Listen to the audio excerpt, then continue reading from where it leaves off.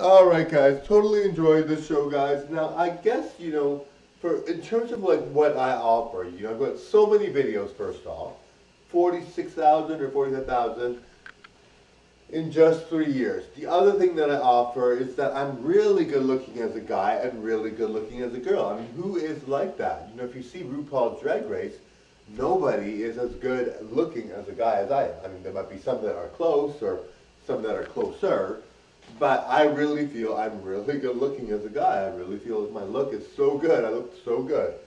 Anyway, and I look really, really, look exceptionally good as a guy and exceptionally good as a girl. Anyway, that's news to me, darling, and I hope it's news to you. Bye now. Shit totally would be, right, darling? Totally, bye now.